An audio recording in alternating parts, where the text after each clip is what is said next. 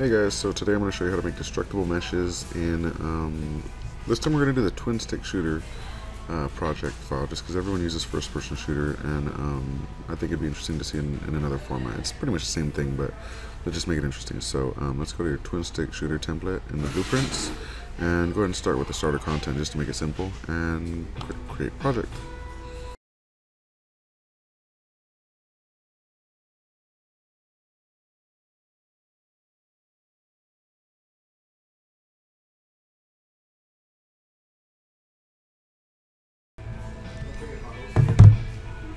So we're in the twin stick shooter, and let's just go ahead and give this a try and see exactly what it does. So um, we go up, and when we shoot these boxes, they react in a really cool way and they fall apart. So, or they fall, basically, they simulate physics.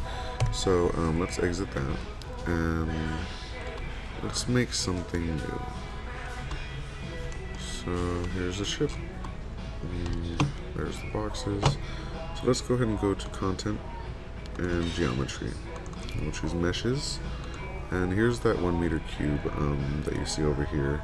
Let's just go ahead and um, right click on that and create a destructible mesh.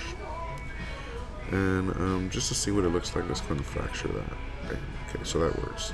So um, we're also going to enable impact damage so you can run into it and um, destroy it that way. And hit save. Now we're going to close this and um, let's go ahead and drag one in here and it up there. Now, um, in our one meter cube, we're gonna scroll down and choose simulate physics so that it falls into the scene. And um, we're gonna generate hit events in the in the preview simulator. So go ahead and hit play. And we'll drive around. You can shoot this way. And look at that, that's really cool. Let's go ahead and close this because we're getting some artifacts. And um, let's just build the lighting real quick.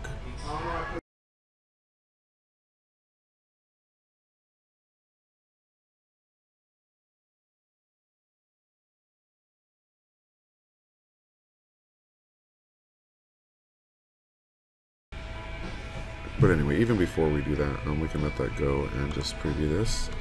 And we can drive around and we'll see the original box over here, which we can shoot. And then we see our destructible mesh box. Boom. Look at that. Look how wonderful and cool that looks. That's just the neatest thing, isn't it? And they still react with other physics actors in the scene, so that's really cool. And look, it even kind of stops the ship. It can't get over those. Um, so it's it's really a dynamic effect, which you can turn that off too. You can make them um, not collide with your physics actor if you want so that you can drive through it. But yeah, let's go and try that one more time just because it's kind of fun. Let's go up here. And we can put as many of these in the scene as we want and just really destroy things. Look at that. That's so cool. Alright, so that's it. Um, hope this was a useful tutorial. Have a good day. Peace.